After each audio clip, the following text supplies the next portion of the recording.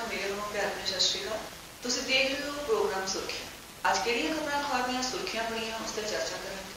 ਅੱਜ ਸਾਡੇ ਪ੍ਰੋਗਰਾਮ ਸੁਰਖੀਆਂ ਦੇ ਵਿੱਚ ਚਰਚਾ ਕਰਨ ਲਈ ਆਏ ਹਨ ਸੰਦੀਪ ਵਿਸ਼ੇਸ਼ ਜੀ ਜੋ ਕਿ ਭਾਸਕਰ ਬਿਊਰੋ ਤੋਂ ਹਨ। ਸੰਦੀਪ ਜੀ ਤੁਹਾਡਾ ਸਾਡੇ ਪ੍ਰੋਗਰਾਮ ਸੁਰਖੀਆਂ ਦੇ ਵਿੱਚ ਬਹੁਤ ਧੰਨਵਾਦ। ਨੂੰ ਸ਼ੁਕਰੀਆ। ਤੁਹਾਡਾ ਬਹੁਤ ਬਹੁਤ ਬੁਲਾਉਣ ਤੇ ਅੱਜ ਦੀਆਂ ਖਬਰਾਂ ਸੁਰਖੀਆਂ ਬਣੀਆਂ ਹਨ ਉਸ ਤੇ ਚਰਚਾ ਕਰਾਂਗੇ। ਅੱਜ ਦੀ ਜਿਹੜੀ ਪ੍ਰਮੁੱਖ ਜਿਹੜੀ ਸਭ ਸੁਰਖੀ ਹੈ ਜਿਸ ਦਾ ਕਿ ਜਨਤਾ ਨੂੰ ਬਹੁਤ ਦੇਰ ਤੋਂ ਇੰਤਜ਼ਾਰ ਸੀ ਉਹ ਹੈ ਰਾਮ ਰਹੀਮ ਨੂੰ ਮੌਤ ਤੱਕ ਉਮਰ ਕੈਦ ਹਾਂਜੀ ਮੈਮ ਜਿਵੇਂ ਕਿ ਪਹਿਲਾਂ ਵੀ ਇਸ ਅਹ, 20 ਸਾਲ ਦੀ ਸਜ਼ਾ ਮਿਲ ਚੁੱਕੀ ਹੈ ਇੱਕ ਮਾਮਲੇ ਦੇ ਵਿੱਚ ਬਾਬਾ ਰਾਮ ਰਹੀਮ ਨੂੰ। ਉਹਦੀਆਂ ਜਿਹੜੀਆਂ ਅਨਿਆਈ ਸੀਗੀਆਂ ਉਹਦੇ ਰੇਪ ਮਾਮਲੇ ਦੇ ਵਿੱਚ ਜਾਂ ਕਤਲ ਮਾਮਲੇ ਦੇ ਵਿੱਚ। ਤੇ ਇਦਾਂ ਹੀ ਅੱਜ ਪੰਚਕੂਲਾ ਦੀ ਸੀਬੀਆਈ ਅਦਾਲਤ ਨੇ ਜੱਜ ਜੱਜ ਜਗਦੀਪ ਸਿੰਘ ਨੇ ਬਹੁਤ ਵੱਡਾ ਫੈਸਲਾ ਕੀਤਾ ਕਿ 20 ਸਾਲ ਦੀ ਸਜ਼ਾ ਪੂਰੀ ਹੋਣ ਤੋਂ ਬਾਅਦ ਇਹ ਸਜ਼ਾ ਸ਼ੁਰੂ ਹੋ ਇਹ ਆਪਣੇ ਆਪ 'ਚ ਇੱਕ ਬਹੁਤ ਵੱਡਾ ਫੈਸਲਾ, ਕਿਉਂਕਿ ਜਿਹੜਾ ਬਾਬਾ ਰਾਮ ਰਹੀਮ ਆ, ਇਹ ਇੱਕ ਬਹੁਤ ਵੱਡੇ ਸਮੁਦਾਇ ਨੂੰ ਰਿਪਰੈਜ਼ੈਂਟ ਕਰਦਾ ਕਿ ਪਿਛਲੀ ਵਾਰ ਵੀ ਜੋ ਦੇਖਿਆ ਸੀ, ਸਜ਼ਾ ਹੋਈ ਸੀ, ਲਗਾਤਾਰ ਸਾਰੇ ਫੋਨ ਦੀਆਂ ਨੈਟ ਸੇਵਾਵਾਂ 48 ਘੰਟੇ ਵਾਸਤੇ 72 ਘੰਟੇ ਵਾਸਤੇ ਸਰਕਾਰ ਨੇ ਬੰਦ ਕਰ ਦਿੱਤੀਆਂ ਸੀ। ਤੇ ਪੰਚਕੂਲੇ ਦੇ ਵਿੱਚ ਕਿਵੇਂ ਦਾ ਵਾਦ ਵਿਵਾਦ ਹੋਇਆ, ਉਹ ਤੁਹਾਡੇ ਸਭ ਦੇ ਸਾਹਮਣੇ ਸੀ। ਇਸ ਵਾਰ ਇਹ ਜੇਲ੍ਹ ਦੇ ਵਿੱਚ ਵੀਡੀਓ ਕਾਨਫਰੰਸ ਰਾਈ ਹੋਈ ਹੈ ਜਿਹੜੀ ਪੇਸ਼ੀ ਤੋਂ ਬਾਅਦ ਸਜ਼ਾ ਹੋਈ ਹੈ ਇਸ ਕਰਕੇ ਵਾਦ ਵਿਵਾਦ ਤਾਂ ਨਹੀਂ ਹੋਇਆ ਪਰ ਇਹ ਬਹੁਤ ਵੱਡਾ ਇੱਕ ਫੈਸਲਾ ਜਿਹਦਾ ਸਾਰੀ ਲੋਕ ਸਵਾਗਤ ਕਰਦੇ ਆ ਕਿਉਂਕਿ ਇਹਦਾ ਇੱਕ ਬਹੁਤ ਸਾਮਰਾਜ ਸੀ ਜਿਸ ਤੇ ਇੱਕ ਪੱਤਰਕਾਰ ਦੇ ਨਾਲ ਜੁੜਿਆ ਹੋਇਆ ਮਾਮਲਾ ਸੀ ਜੋ ਪੱਤਰਕਾਰ ਸੀ ਆਪਣੇ ਅਸ਼ੂ ਅਸ਼ੂ ਅੰਸ਼ੂ ਛਤਰਪਤੀ। ਛਤਰਪਤੀ ਛਤਰਪਤੀ ਸੀ ਇਹ ਇਹਨਾਂ ਨੇ ਕਾਫੀ ਇਹਦੇ ਖਿਲਾਫ ਕਾਫੀ ਜਿਹੜੇ ਸਬੂਤ ਵਗੈਰਾ ਇਕੱਠੇ ਕਰ ਲਏ ਸੀ ਤੇ ਬਹੁਤ ਕੰਮ ਕਰ ਰਹੇ ਸੀ ਇਹਦੇ ਖਿਲਾਫ। ਜਦੋਂ ਇਹਨੂੰ ਪਤਾ ਲੱਗਿਆ ਤੇ ਇਹਨਾਂ ਨੇ ਇਸ ਨੂੰ ਮਰਵਾ ਦਿੱਤਾ। ਇਹ ਪਿਛਲੇ 15-20 ਸਾਲਾਂ ਤੋਂ ਇਹ ਕੇਸ ਚੱਲ ਰਿਹਾ ਸੀ। ਇਹ ਕੇਸ ਦੇ ਵਿੱਚ ਕਿਵੇਂ ਪੁਲਿਸ ਨੇ ਅਹ, ਤੱਥਾਂ ਨਾਲ ਜੋੜ ਕੇ ਇਸ ਨੂੰ ਇੱਥੇ ਤੱਕ ਲਿਆਉਂਦਾ ਇਹ ਬਹੁਤ ਵੱਡੀ ਗੱਲ ਹੈ ਕਿਉਂਕਿ ਇੱਕ ਪਾਸੇ ਦੂਜੀ ਇਹ ਚ ਵੱਡੀ ਗੱਲ ਇਹ ਆ ਕਿ ਇਸ ਤੋਂ ਪਹਿਲਾਂ ਜਿਹੜਾ ਫੈਸਲਾ ਹੋਇਆ ਉਸ ਦੇ ਨਾਲ ਵੀ ਜੁੜਿਆ ਹੋਇਆ ਹੈ ਕੇਸ ਇਹ ਸਟੈਪ ਬਾਈ ਸਟੈਪ ਚੱਲਦਾ ਸਿਸਟਮ ਸਾਰਾ। ਜਿਵੇਂ ਪਹਿਲਾਂ ਅਹ, ਸਾਧਵੀਆਂ ਸੀਗੀਆਂ ਜਿਹੜੀਆਂ ਸੀਬੀਆਈ ਨੇ ਸਾਧਵੀਆਂ ਨੂੰ ਉਹਨਾਂ ਦੇ ਘਰੇ ਜਾ ਕੇ ਉਹਨਾਂ ਨੂੰ ਮੋਟੀਵੇਟ ਕੀਤਾ ਵੀ ਤੁਸੀਂ ਇਹਦੇ ਖਿਲਾਫ ਗਵਾਹੀ ਦਿਓ ਤੁਸੀਂ ਅੱਗੇ ਆਓ। ਫਿਰ ਉਹ ਸਾਧਵੀਆਂ ਅੱਗੇ ਆਈਆਂ ਜਿਹਦੇ ਕਰਕੇ ਜੱਜ ਇਹਨੂੰ ਬਾਬੇ ਨੂੰ ਪਹਿਲਾਂ ਸਜ਼ਾ ਹੋਈ। ਉਹ ਤੋਂ ਬਾਅਦ ਸਭ ਦਾ ਹੌਸਲਾ ਜਿਹੜਾ ਖੁੱਲ ਗਿਆ ਪੱਤਰਕਾਰ ਮਾਮਲੇ ਦੇ ਵਿੱਚ ਵੀ ਗਵਾਹ ਦੇ ਵਿੱਚ ਵੀ ਹੌਸਲਾ ਆਇਆ ਕਿਉਂਕਿ ਇਹਦਾ ਆਪਣਾ ਸਾਮਰਾਜ ਸੀ, ਇਹ ਕ੍ਰਿਮੀਨਲ ਆਦਮੀ ਸੀ। ਇਸ ਕਰਕੇ ਲੋਕ ਇਹ ਤੋਂ ਡਰਦੇ ਸੀ। ਤੇ ਹੁਣ ਇਹਦਾ ਖੌਫ ਜਿਹੜਾ ਪੂਰੀ ਤਰ੍ਹਾਂ ਖਤਮ ਹੋ ਗਿਆ ਤੇ ਉਹਨੇ ਸਾਰੀ ਜ਼ਿੰਦਗੀ ਆਪਣੀ ਜੇਲ੍ਹ ਦੇ ਵਿੱਚ ਹੀ ਕੱਟੂਗਾ ਮਰਨ ਤੱਕ। ਉਹਦੀ ਜੱਜਮੈਂਟ ਦੇ ਵਿੱਚ ਲਿਖਿਆ ਹੋਇਆ ਵੀ ਮਰਨ ਤੱਕ ਉਮਰ ਉਮਰ ਕੈਦ ਵੀ ਕਈ ਤਰ੍ਹਾਂ ਦੀ ਹੁੰਦੀ ਹੈ, ਜਿਵੇਂ 20 ਸਾਲ ਦੀ ਹੁੰਦੀ ਹੈ 14 ਸਾਲ ਦੀ ਉਮਰ ਕੈਦ ਨੂੰ ਆਪਾਂ ਕਹਿ ਦਿੰਦੇ ਹਾਂ। ਤੇ ਜ਼ਿਆਦਾਤਰ ਅਹ, ਫੈਸਲਿਆਂ ਦੇ ਵਿੱਚ ਦੋਏ ਸਜ਼ਾਵਾਂ ਇਕੱਠੀਆਂ ਜਾਂਦੀਆਂ ਪਰ ਇਹਦੇ ਵਿੱਚ ਪਹਿਲਾਂ ਇਹ 10-10 ਸਾਲ ਦੀ ਪਹਿਲਾਂ ਵੀ ਜੱਜ ਸਾਹਿਬ ਨੇ 10-10 ਸਾਲ ਦੀ ਸਜ਼ਾ ਦਿੱਤੀ। 10 ਸਾਲ ਦੀ ਸਜ਼ਾ 10 ਸਾਲ ਤੋਂ ਬਾਅਦ ਸ਼ੁਰੂ ਹੋ ਉਹ ਟੋਟਲ 20 ਸਾਲ ਦੀ 20 ਸਾਲ ਤੋਂ ਬਾਅਦ ਇਹ ਸਜ਼ਾ ਸ਼ੁਰੂ ਹੋ ਗਈ। ਇਸ ਇਹ ਸਭ ਤੋਂ ਵੱਡਾ ਪੁਆਇੰਟ ਬਹੁਤ ਵਧੀਆ ਗੱਲ ਹੈ ਸਜ਼ਾ ਨੂੰ ਇਸ ਤਰ੍ਹਾਂ ਦੇ ਜਿਹੜੇ ਕ੍ਰਿਮੀਨਲ ਉਹਨਾਂ ਨੂੰ ਸਜ਼ਾ ਮਿਲਣੀ ਚਾਹੀਦੀ ਮਿਲਣੀ ਚਾਹੀਦੀ ਹੈ ਜੀ ਇਹ ਅੱਗੇ ਨੂੰ ਕੋਈ ਹੋਰ ਜਿਹੜਾ ਇਹ ਸਾਡੇ ਮੀਡੀਆ ਦੇ ਉੱਤੇ ਹਮਲਾ ਸੀ। ਚੌਥਾ ਪਿੱਲਰ ਕਹਿੰਦੇ ਆ ਮੀਡੀਆ ਨੂੰ, ਉਹਦੇ ਤੇ ਬਹੁਤ ਵੱਡਾ ਹਮਲਾ ਸੀਗਾ, ਪੱਤਰਕਾਰ ਦੀ ਹੱਤਿਆ।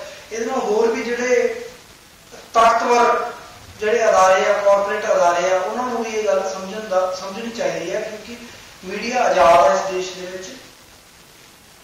ਬਸ ਇਹਦੇ ਬਾਰੇ ਇੰਨਾ ਹੀ ਕਹਿਣਾ, ਠੀਕ ਰਹੂਗਾ। ਤੇ ਹੁਣ ਕੋਈ ਅਗਲੀ?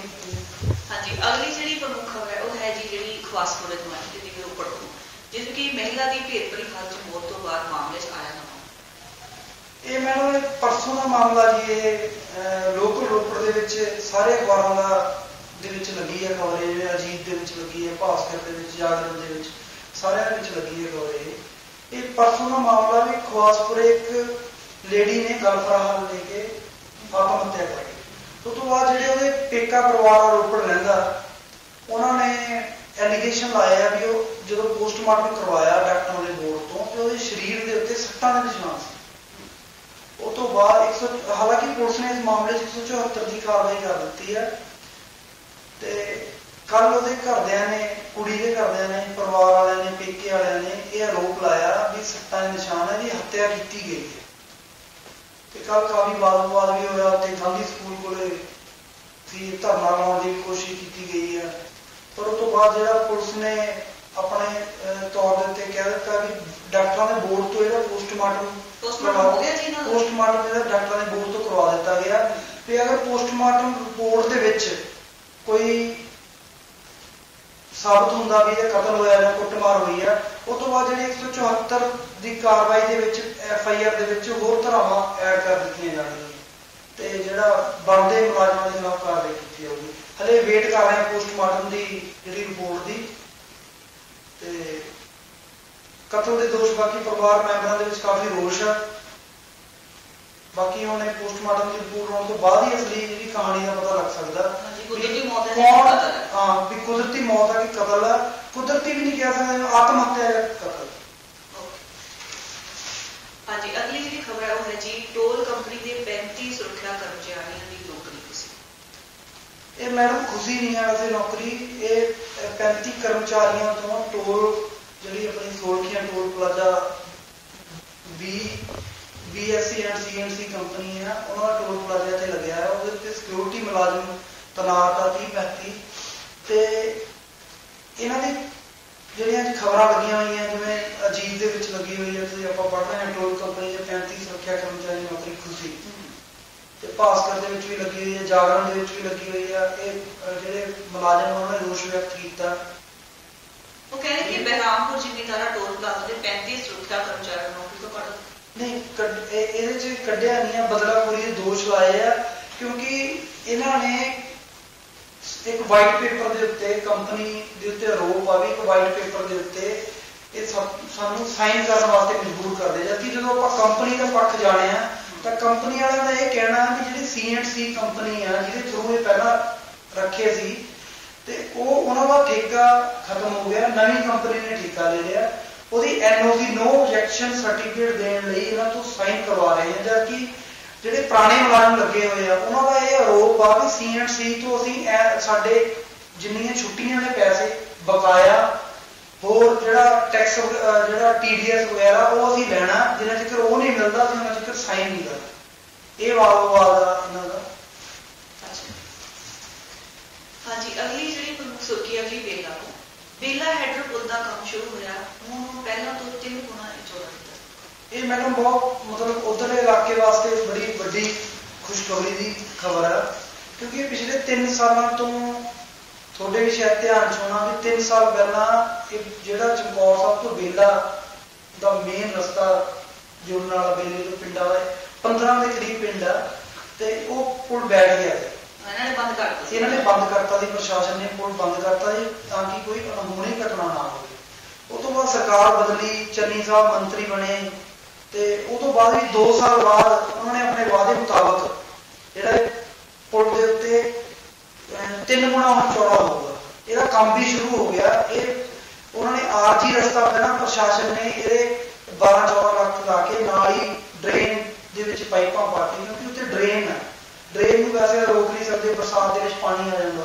ਤੇ ਮੈਡਮ ਜਦੋਂ ਡੀਸੀ ਗੁਰਲੀਨ ਤੇਜ਼ ਹੁੰਦੇ ਸੀ ਇੱਥੇ, ਉਦੋਂ ਉਹਨੇ ਪਾਈਪਾਂ ਪਵਾ ਕੇ ਆਰਜੀ ਰਸਤਾ ਬਣਵਾਤਾ ਸੀ। ਇਹ 'ਚ ਲਗਾਤਾਰ ਧਰਨੇ ਵੀ ਲੱਗੇ ਆ, ਕਿਉਂਕਿ ਇਸ ਪੁਲ ਦੇ ਨਾਲ 15 ਮਿੰਟ ਜੁੜੇ ਹੋਏ ਸੀ। ਬੇਲੇ ਦੀ ਮੰਡੀ ਨੂੰ ਜਦੋਂ ਧਾਨ ਦੀ ਫਸਲ ਲੈ ਕੇ ਜਾਂ ਕਣਕ ਦੀ ਫਸਲ ਲੈ ਕੇ ਜਾਣਾ ਪੈਂਦਾ ਸੀ, ਉਹਨਾਂ ਨੂੰ 8-10 ਕਿਲੋਮੀਟਰ ਘੁੰਮ ਕੇ ਜਾਣਾ ਇਹ ਬਹੁਤ ਵੱਡੀ ਰਾਹਤ ਦੀ ਖਬਰ ਆ ਤੇ ਜਿਵੇਂ ਮੰਤਰੀ ਸਾਹਿਬ ਇੰਟਰਸਟ ਲੈ ਲਏ ਇਹਦੇ 'ਚ, ਇਹ ਲੱਗਦਾ ਵੀ ਆਪਣੇ ਸਹੀ ਟਾਈਮ ਤੇ 6 ਮਹੀਨੇ ਦੇ ਵਿੱਚ ਪੁਲ ਬਣ ਜਾਏਗਾ ਤੇ ਆਪਣੇ ਆਪ 'ਚ ਵਧੀਆ ਪੁਲ ਹੋਊਗਾ, ਚੌੜਾ ਹੋਊਗਾ ਤੇ ਅੱਗੇ ਕਈ ਸਾਲ ਜਿਹੜੀ ਕੋਈ ਪ੍ਰੋਬਲਮ ਨਹੀਂ ਆਊਗੀ ਅਗਲੀ ਜਿਹੜੀ ਹੈਗੀ ਖਬਰ ਹੈ ਜੋ ਜੀ, ਅਧਿਆਪਕ ਜਥੇਬੰਦੀਆਂ ਵੱਲੋਂ ਰਮਸਾ ਅਧਿਆਪਕਾਂ ਦੀਆਂ ਮੰਗਾਂ ਨੂੰ ਲੈ ਕੇ ਆਰਥਿਕ ਅਧਿਆਪਕਾਂ ਦੇ ਜਿਹੜੇ ਮਸਲੇ ਆ, ਇਹ ਕਿਉਂ ਨਹੀਂ ਸੋਲਵ ਹੋਏ? ਇਹ ਮੈਡਮ ਦੇ ਦੇ ਮਸਲੇ ਜਿਵੇਂ ਹੁਣ ਕੱਲ ਵੀ ਮੇਰੇ ਖਿਆਲ 'ਚ ਮੰਤਰੀ ਦਾ ਇੱਕ ਬਿਆਨ ਆਇਆ ਵੀ 51 78 ਜਿਹੜੀ ਯੂਨੀਅਨ ਆ, ਜਿਨ੍ਹਾਂ ਨੂੰ 3 ਸਾਲ ਹੋ ਗਏ, ਉਹਨਾਂ ਨੂੰ ਅਸੀਂ ਪੱਕੇ ਕਰ ਰਹੇ ਹਾਂ।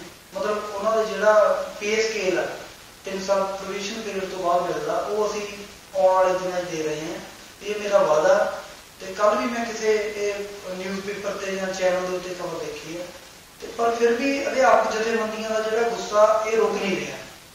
ਇਹ ਰਮਸਾ ਅਧਿਆਪਕ ਕਹਿ ਰਹੇ ਵੀ ਉਹਨਾਂ ਦੀ ਤਨਖਾਹ ਦੇ ਵਿੱਚ 75% ਕਟੌਤੀ ਕਰ ਦਿੱਤੀ ਇਹ 75% ਕਟੌਤੀ ਹੈ ਜਿਹੜੀ ਇਹ ਕੀਤੀ ਹੈ ਇਹਨਾਂ ਨੂੰ ਇਹਨਾਂ ਨੇ ਦੁਬਾਰਾ ਪ੍ਰੋਬੇਸ਼ਨ ਪੀਰੀਅਡ ਤੇ ਲਿਆਂਦਾ।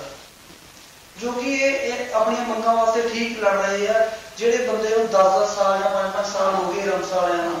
ਉਹਨਾਂ ਦੀ ਤਨਖਾਹ 50000 ਰੁਪਏ ਹੋਊਗੀ ਉਹਨਾਂ ਨੂੰ ਤੁਸੀਂ ਇੱਕ ਪੱਕਾ ਦਾ ਲੋਲੀਪੌਪ ਦੇ ਕੇ। ਹਾਂ।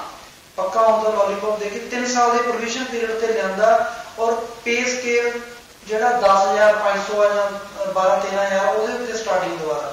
ਜਿਹੜਾ ਬੰਦਾ 45000 ਰੁਪਏ ਲੈ ਰਿਹਾ, ਉਹ 10 15000 ਦਾ ਗੁਜ਼ਾਰਾ ਕਿਵੇਂ ਕਰੂਗਾ? ਤੇ ਵੱਡਾ ਸਵਾਲ ਆ, ਕਿਉਂਕਿ ਸਰਕਾਰ ਕੋਲ ਪੈਸੇ ਹੈ ਨਹੀਂ। ਸਰਕਾਰ ਦਾ ਆਪਣਾ ਬੁਰਾ ਤੇ ਇਹ ਜਿਹੜੇ ਆਪਣਾ ਟਾਈਮ ਟਪਾ ਰਹੇ ਬੇਸ਼ੱਕ ਸੀਐਮ ਸਾਹਿਬ ਰੋਜ਼ ਹੁਣ ਮੀਟਿੰਗਾਂ ਕਰਦੇ ਆ ਵੀ ਅਸੀਂ 50-50 ਕਰੋੜ ਰੁਪਏ ਐਮਐਲਏ ਨੂੰ ਦੇਣਾ। ਇਹ ਜਿੰਨਾ ਚਿਰ ਮਿਲਦਾ ਨਹੀਂ ਹੈ ਉਹਨਾਂ ਚਿਰ ਕੁਝ ਨਹੀਂ ਹੈ। ਤੇ ਆਪਣੀਆਂ ਜਿਹੜੇ ਮੰਤਰੀਆਂ ਦੀਆਂ ਤਾਮਝਾਮ ਦੇ ਵਿੱਚ ਗੱਡੀਆਂ ਨਵੀਆਂ ਦੇਤੀਆਂ ਤਨਖਾਹਾਂ ਵਧਾਉਣ ਦੇ ਪ੍ਰਪੋਜ਼ਲ ਆ ਗਏ। ਹਾਲਾਂਕਿ ਉਹ ਪ੍ਰਪੋਜ਼ਲ ਰੁਕੇ। ਅੱਛਾ ਆਪਣੇ ਖਰਚਿਆਂ ਵਾਸਤੇ ਇਹਨਾਂ ਕੋਲ ਪੈਸਾ। ਆਪਣੇ ਖਰਚਿਆਂ ਵਾਸਤੇ ਬਿਲਕੁਲ ਲੋਕਾਂ ਵਾਸਤੇ ਹੈ ਨਹੀਂ। ਤੁਸੀਂ ਹੁਣ ਦੇਖ ਹੀ ਰਹੇ ਆ ਪਿਛਲੇ 2 ਸਾਲਾਂ ਦੇ ਵਿੱਚ ਰੋਪੜ ਜ਼ਿਲ੍ਹੇ ਦੇ ਵਿੱਚ ਵੀ ਇੱਕ ਦੋ ਪ੍ਰੋਜੈਕਟਾਂ ਨੂੰ ਛੱਡ ਕੇ ਕੋਈ ਵੀ ਪ੍ਰੋਜੈਕਟ ਪੂਰਾ ਸਿਰੇ ਨਹੀਂ ਲੱਗਿਆ ਚਾਹੇ ਉਹ ਮਿਨੀ ਬਾਈਪਾਸ ਦਾ ਪ੍ਰੋਜੈਕਟ ਹੈ ਚਾਹੇ ਉਹ ਆਪਣਾ ਚੰਨੀ ਸਾਹਿਬ ਨੇ ਜਿਹੜੀ ਯੂਨੀਵਰਸਿਟੀ ਦਾ ਐਲਾਨ ਕੀਤਾ ਸੀ ਉੱਥੇ, ਉਹ ਕਾਲਜ ਤੱਕ ਸਿਮਟ ਕੇ ਰਹਿ ਗਈ। ਤੇ ਉਹ ਵੀ ਜਿਹੜੀ ਹੈ ਠੰਡੇ ਬਸਤੇ 'ਚ ਕਿਉਂਕਿ ਸਰਕਾਰ ਕੋਲੇ ਪੈਸੇ ਹੀ ਹੈ। ਇਹ ਬਹੁਤ ਵੱਡੀ ਦਿੱਕਤ ਆ ਸਰਕਾਰ ਨੂੰ। ਸਰਕਾਰ ਦਾ ਸੋਰਸ ਆਫ ਇਨਕਮ ਮਰ ਗਏ, ਉਹਨਾਂ ਕੋਲ ਹੈ ਨਹੀਂ ਕੁਝ ਤੇ ਇਹਨਾਂ ਨੂੰ ਨਵੇਂ ਜਿਹੜੇ ਸੋਰਸ ਆਫ ਇਨਕਮ ਆ, ਇਹ ਜਨਰੇਟ ਕਰਨ ਦੀ ਲੋੜ ਆ। ਇਹ ਟੈਕਸ ਵੀ ਲਾ ਰਹੇ ਆ, ਫਿਰ ਵੀ ਇਹਨਾਂ ਦਾ ਕੁਝ ਨਹੀਂ ਮਤਲਬ ਬਣ ਰਿਹਾ।